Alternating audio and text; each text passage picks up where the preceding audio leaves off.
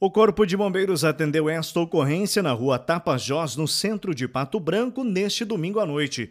O motociclista ficou ferido após uma colisão com um carro, próximo das 20 horas.